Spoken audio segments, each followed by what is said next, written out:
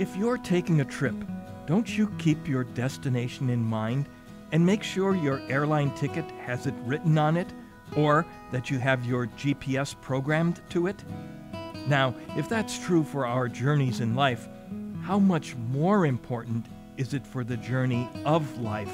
Hello, I'm Father James Kubicki, and those thoughts came to me today as I read part of a work called On the Ascent of the Mind to God, written by today's saint, a member of the Jesuit order to which I belong, St. Robert Bellarmine.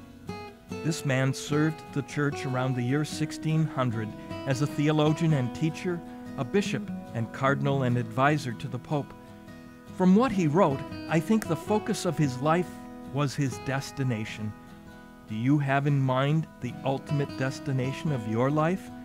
Perhaps these words of St. Robert Bellarmine can help you do that today.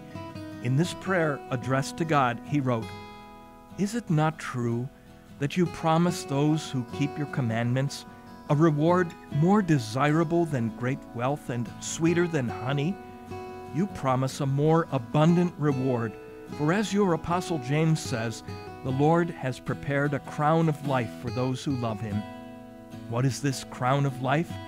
It is surely a greater good than we can conceive of or desire, as St. Paul says, quoting Isaiah Eye has not seen, ear has not heard, nor has it so much as dawned on man what God has prepared for those who love him. In other words, no matter how good your picture of heaven is, the reality will be beyond anything you can imagine because God won't be outdone in goodness.